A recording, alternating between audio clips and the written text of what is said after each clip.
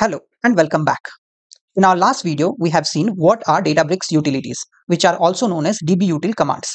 Today, we are going to use some of those dbutil commands in order to parameterize our notebooks. Now, parameterizing notebooks is the first step towards designing workflows. Today, we are going to use this parameterization technique in order to just run a simple notebook as a job. So, without any delay, let's begin. I am in my Databricks workspace. Today, we are going to use two notebooks. The first one would be a child notebook, which will be named as write employee data. Okay. And the second one would be a parent notebook, which is run write employee data. Now, in our child notebook, we are going to read some employee records, filter them out based on the parameter provided, which would be on department. And once the data is filtered, we are going to write them in form of delta tables. So for any parameterized department, we are going to write it into a different delta table. Now, we will use this parent notebook in order to pass the parameters to the child notebook, which will run as a job. So this demonstration is pretty simple and my computer is also up and running. Let's go ahead and write the code. So for today's demonstration, we are going to read some employee records from this location. Now this location is also available for you. You can read the data from the same location. So I'll just copy this and I will use the dbutils head command in order to see the data. So I'll write dbutils.fs.head and I'll pass the path for that particular CSV file. So let me run this. Awesome. We can see the dataset. It has a header which gives you all the information about this CSV dataset. The next step is to create the widget in order to read the parameter that we will provide from our parent notebook. So the first thing that we need to do is to create a parameter called department. Now we already have seen how we can use widgets for this. Let's go ahead and do this. So I'll write dbutils dot widgets dot text. So this would be a text and the name of this text would be DPT department and I'll just keep the default value as blank and I'll give it a label called department name. Okay, let me just go ahead and run this. Great, we see our widget with the text box created at the top. Okay, now we will create one variable in order to get the value of this widget. So to do that, I'll use a variable called underscore DPT and we will use again the dbutils dot widgets dot get command and we'll pass the name of the widget which is department. So I'll rest dbpt. Okay, and I'll run this. So this will help us to get the value, whatever is passed in the department name. Okay. And then we are going to print this. So we'll just print it as print DEPT, whatever value that we get for this particular widget. Now, in order to test it out, let me just put as sales. Okay. And I'll hit enter. So you can see both the cell ran automatically. Let me just go ahead and run the print command and you can see sales. Okay. Now let's read the data set that we have already seen in our first command, right? So to do that, I'll just write df equals to spark dot read dot csv and I'll pass the path of the employee file. So I'll just go ahead in the top. I'll copy the path, to come back, and I'll paste it here. Okay. And since it has a header, so I'll pass a parameter called header as true. Okay. Let me just run this. So if I expand this, you can see all the columns. Okay. Let's go ahead and see the data. So I'll just type display and I'll pass the df Awesome. We can see the data, right? And we can see the department column as well. It has a lot of departments for sales, office. And again, if I scroll down, you can see production.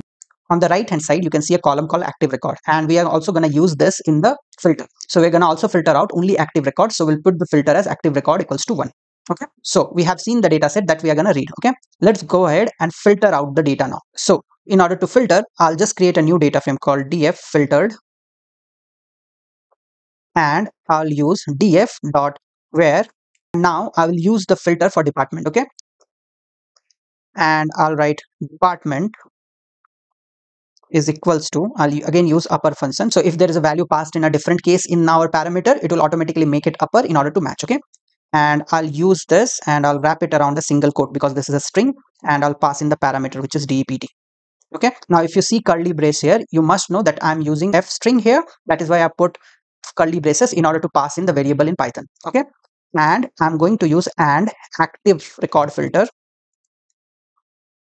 is equals to 1, which is also string. Okay. Let me go ahead and run this. So if I run this right now and expand, I can see all the columns because right now the department value is sales. This is why it is showing you. Okay. So let's go ahead and validate. So what I'll do is I'll just write display and I'll write df filtered. Awesome. You can see data and the, this is for department sales. Okay.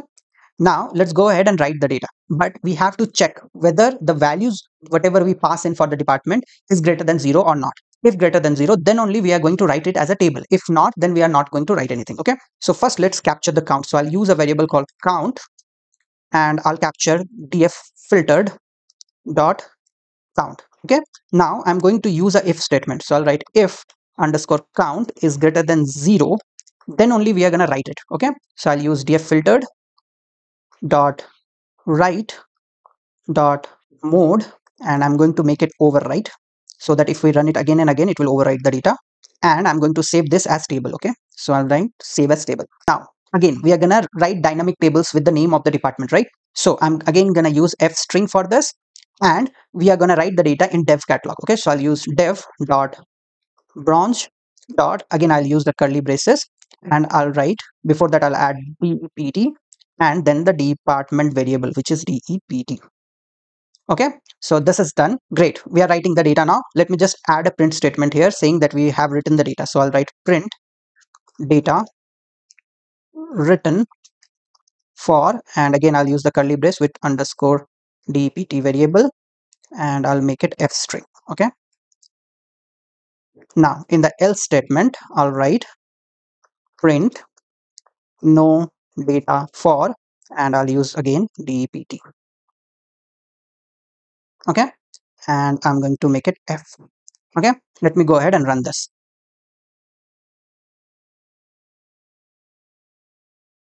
Awesome. You can see the output as data written for sales okay? So our table should also be created as dev.bronze.dept underscore sales okay? So let's go to the catalog.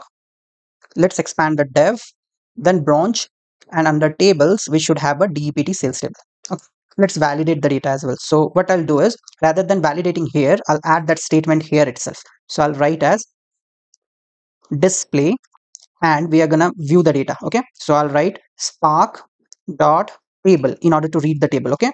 And inside this, I'll copy this whole statement from here.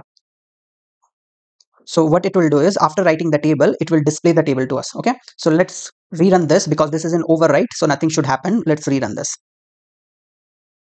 Great. Now if you see, we can see the data as well, right? And it has also written data written for sales. Great. So our code is almost ready. But before we wrap up, we do one more thing. So we are going to pass out the number of records that we have written to the parent notebook. Now, we also know from our last video that notebook has two commands, right? So you can just write dbutils.notebook.help and you can see both the command. Run is to run a notebook. Exit is to provide an exit status or a value to the parent notebook. Okay. So we are going to use this. So what I'm going to do is I'm going to pass the total number of records to the parent notebook. Okay. So I'm going to pass the underscore count to the parent notebook so that we can also use that in our parent notebook to do some manipulation. Okay. So this is also done. So our code is ready. So our child notebook is ready. Let's go to our parent notebook in order to trigger this code with different parameters. Okay, I'm in my parent notebook, which is run write emp data. Okay, so we are going to pass different parameters from this notebook in order to run our child notebook. Let's connect it to the cluster. So I'll click on this and I'll select our ease with data cluster. Okay, now it is connected. Now we know that in order to run a notebook, we can always use the dbutils command. So I'll write dbutils dot notebook dot run. So we will use this to run our child notebook. So the first thing that we need to pass to run command is the name or the path of the notebook. Okay. Since we are at the same location, so we'll just pass the name of the notebook, which is write emp data. Okay. Now, if this notebook is at a different location, then you have to provide that complete location along with the notebook name. Okay.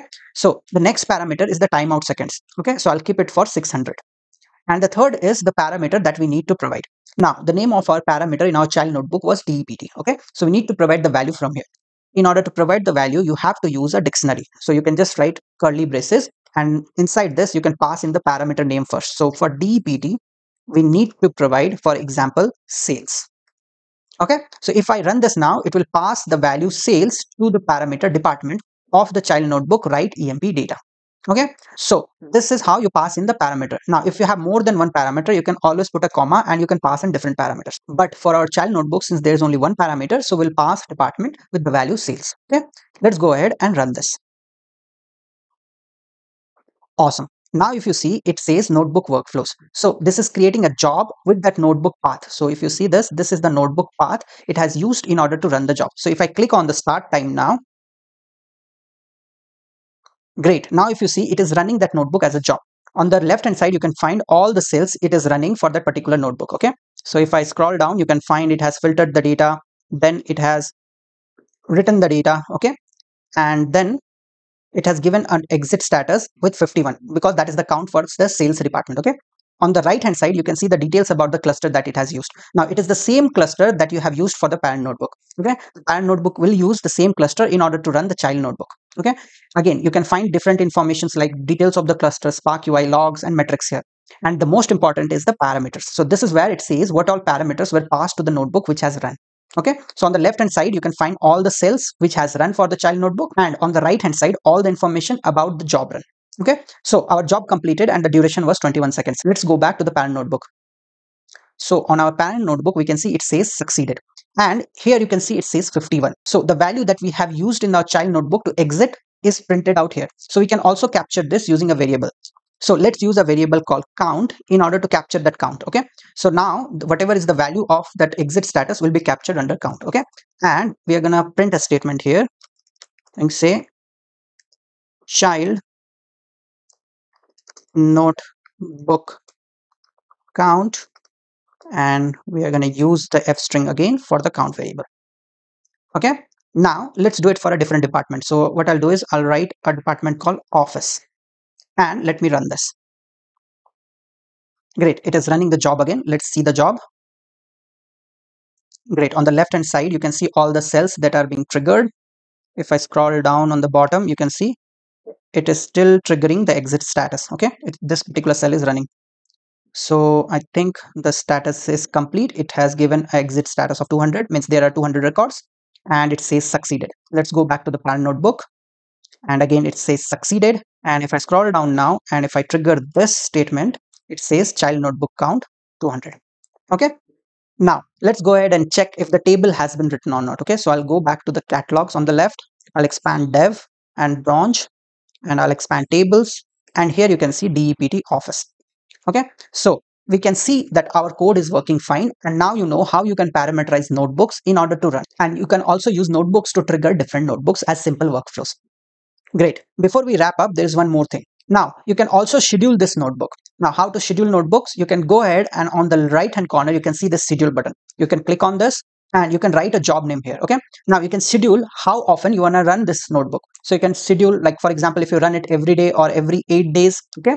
And then you can select the cluster that it has to use for running okay? You can select to create a new cluster or any existing all purpose cluster okay? And under more options you can see the notifications. So it has to send notification on failure on success on start okay? And again you can pass in different parameters from here. For example let's go to the child notebook. And if i click on schedule here and if I click on more options, you can see it gives you an option called department here in the parameters, right? So you can use this parameters in order to schedule a job as well. So you can always schedule your notebooks as well if you want to run them every day or on a different frequency. Now, if you click on advanced, you get more options. For example, you get the time zone and also any cron syntax that you want to use. Okay. So in Linux, cron is used to schedule things, right? So you can also use those cron syntax in order to schedule your notebook jobs. So this was pretty much all. But the main thing is now you know how to use widgets in order to parameterize a notebook so that we can create complex workflows passing in different parameters. This was all for today. In our next video, we're going to learn something about clusters. Till then, keep learning, keep growing, and keep sharing.